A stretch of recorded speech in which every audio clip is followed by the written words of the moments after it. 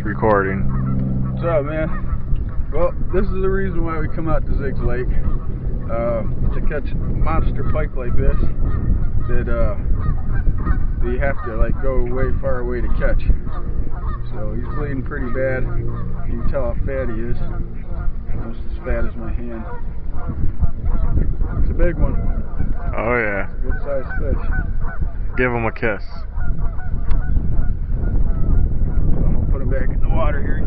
Watch him.